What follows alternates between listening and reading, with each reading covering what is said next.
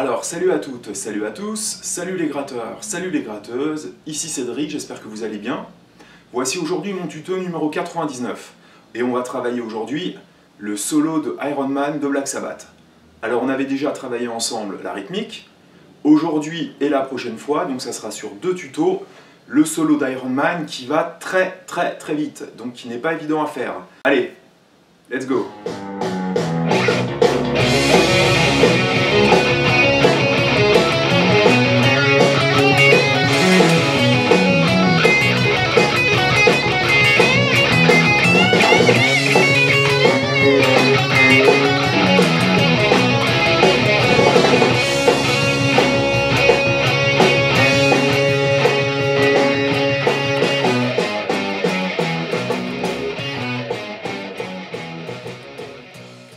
Alors comme pour Paranoïde, je vais faire deux tutos pour qu'on prenne bien le temps ensemble de travailler tous les plans. Donc le solo est en Do dièse mineur pentatonique. Donc Do dièse, on a la note sur la corde de Mi grave à la neuvième case. Donc si je monte ma pentatonique, ça va me donner 9, 12, 9, 11, 9, 11, 9, 11, 9, 12, 9, 12. Ok, je la descends. Problème. Comme pour beaucoup de solos de blues ou de rock, on va aussi utiliser quelques notes de la cinquième position. À savoir, donc là je vais descendre ma gamme. Quand je suis sur ma corde de La à la neuvième case, je descends avec mon premier doigt à la septième case. Je reste dans cette position-là, ce qui me donne, avec mon troisième doigt, corde de Mi, neuvième case. D'accord? Je refais 12, 9, 12, 9, 11, 9, 11, 9, 11, 9, 7, 9, 7, 9. Je la monte. 7, 9, 7, 9, 11, et je suis en première position. C'est à peu près le même principe que le solo de Paranoïde. Alors pour commencer justement, on va démarrer sur la cinquième position. Et ça va donner ça. 4 croches, 7, 9, 7, 9 en liaison. Alors faut pas oublier que le solo va très vite, hein. on est quasiment à la vitesse de Paranoïde, c'est-à-dire vers les 164-165. Euh, donc je fais 7, 9, 7, 9 en liaison en croche, 1 et 2 et... Ok Suivi de deux doubles croche-croche, où je vais faire un pulling off 9, 7, corde de La, et je conclue sur ma fondamentale avec mon troisième doigt. Et pour finir cette première mesure, après je vais faire 7-9 ici. D'accord? Donc toute la première mesure est en cinquième position sur les notes que je vous ai montrées à l'instant. Donc pour commencer, je refais.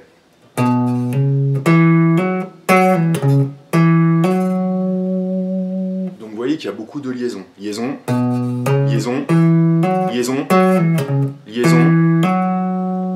que j'ai fait ça, je vais glisser de 9 à 11 et faire trois fois la neuvième case. Donc là, je suis en première position pentatonique. La neuvième case de la corde de Ré. Donc là, j'ai fait 1 et... Donc là, sur la deuxième mesure, on va avoir une série de croches. Ça va donner 1 et 2 et... cette deuxième mesure. Donc je glisse de 9 à 11, de croches. 9, 9, 9. En fait, les deux premiers, pas de problème. Sur le troisième, je rattaque. Et je fais un meur de 9 à 11. Pour ensuite faire ma tierce mineure, c'est-à-dire 9e case, corde de sol. Et je reviens 11e case sur ma fondamentale. Euh, 11e case, corde de Ré. Donc cette deuxième mesure donne...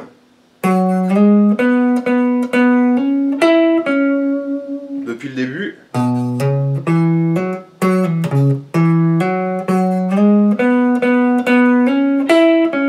Ok. Troisième mesure. Vraiment un plan qu'on retrouve beaucoup chez Tommy Oni. À nouveau de double croche-croche avec une liaison. Donc j'étais sur ma fondamentale. Euh, de Do dièse, on va dire le Do dièse du milieu. Donc je fais 11-9, corde de Ré. Tierce mineure deux fois. je refais la même figure rythmique. Et ensuite 9-11 en liaison, corde de Ré. Ça, c'était ma troisième mesure. Je la refais.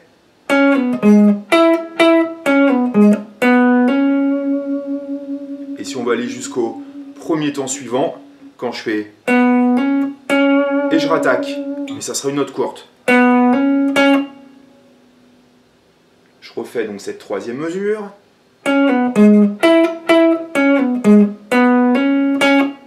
Depuis le début.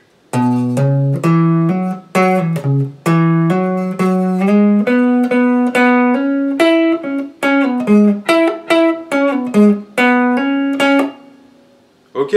Donc là on est arrivé à la quatrième mesure, premier temps. Ensuite j'ai démarré sur le et du deuxième temps. Je vais commencer par neuvième case, tierce mineure, euh, neuvième case, corde de sol. Ensuite je vais faire un bend tout à fait classique à la onzième case, corde de sol. Ensuite je vais attaquer mon do dièse aigu, 9ème case, corde de demi, donc ça me donne. On retrouve notre figure rythmique à la tomioni, corde de si, et je vais faire 12-9 en pulling off. Donc, deux doubles croche-croche, 12-9, corde de si, et ma croche, elle est à la 11e case, et suivi de un petit barré qu'on a déjà vu plein plein de fois, 9e case, corde de Sol et de Si, et là je vais faire trois fois. Et là, j'ai euh, entamé ma cinquième mesure. Donc, ma quatrième mesure donne 11.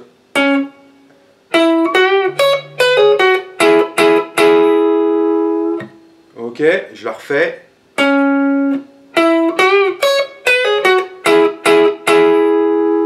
Depuis le début.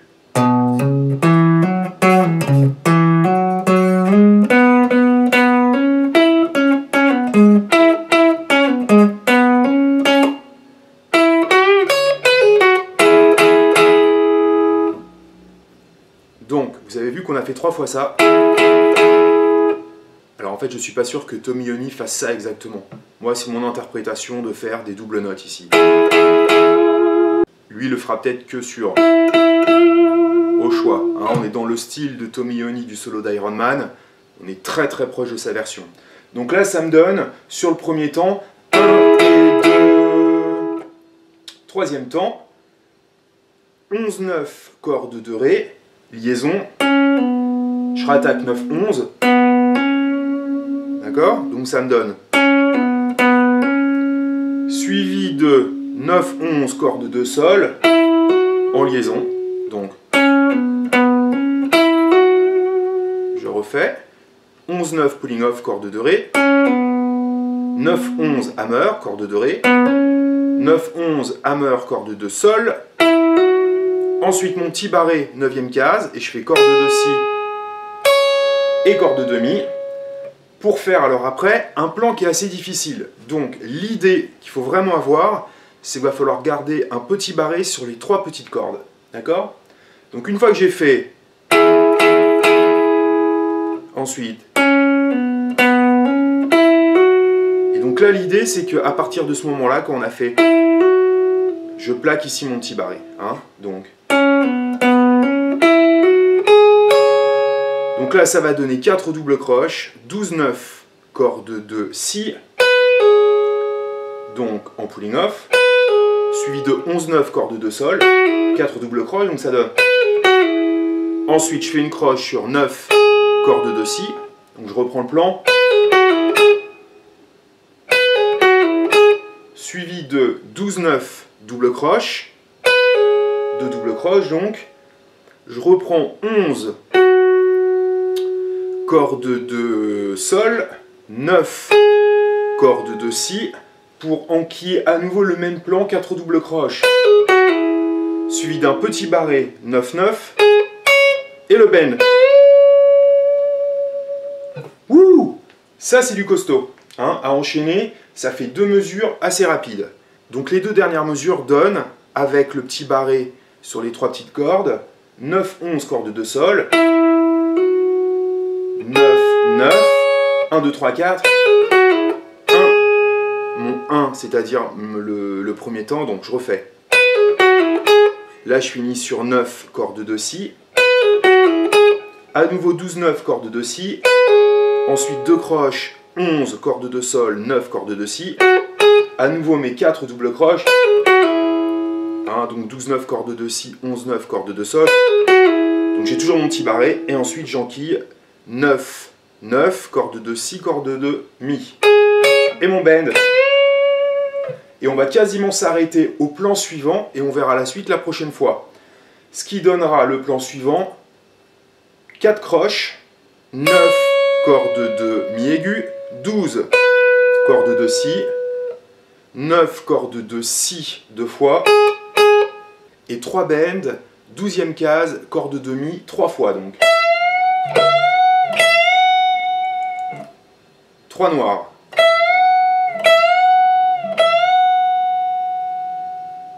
On va quand même regarder le plan suivant qui donne euh, sur le deuxième temps de la mesure. 12, 9, 12, donc deux doubles croche-croche, on va dire la figure Tomioni, euh, 12, 9 cordes de mi aigu, 12 cordes de si, 9 cordes de mi aigu, et je finis par un bend, 12 cordes de si. Et ce bend là sera assez long. D'accord? Les deux dernières mesures données donc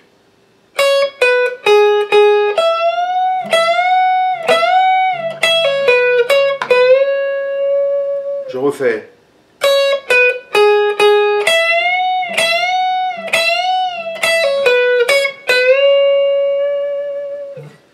Bon, donc là on a travaillé 9 mesures, on a travaillé les parties quasiment les plus difficiles. Il nous restera donc 7 mesures à travailler la prochaine fois. On va essayer de résumer euh, ce qu'on a vu aujourd'hui très lentement. Alors les 4 premières mesures. 1, 2, 3, 4 et...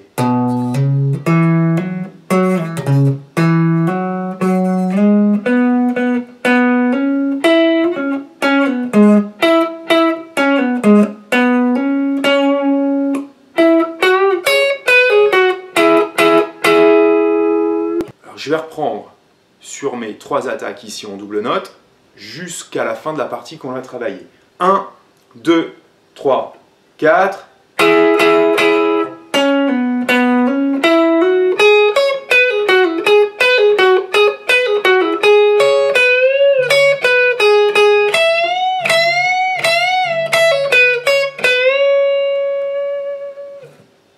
Je vous joue toute cette partie noir à sang. 1, 2, 3, 4.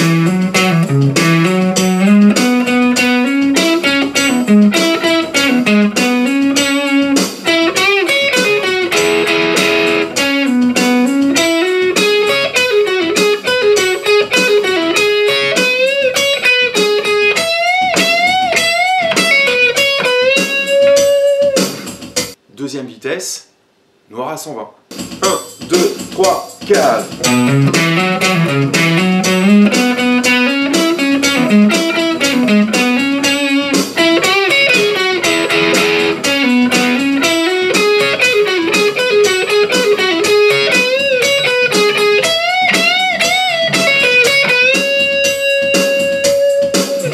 C'était donc notre première partie du solo de Iron Man de Black Sabbath. On a travaillé l'ensemble jusqu'à la 9 mesure. Je vous ai détaillé plan par plan. On a monté la vitesse jusqu'à 100, 120. La prochaine fois, je vous montre jusqu'à la fin. Et pareil, on essaiera de travailler à différentes vitesses pour qu'après, vous soyez à l'aise pour atteindre celle du morceau, c'est-à-dire 165. Si vous avez aimé ma vidéo, faites-la partager, abonnez-vous à ma chaîne et likez mes vidéos. A bientôt Salut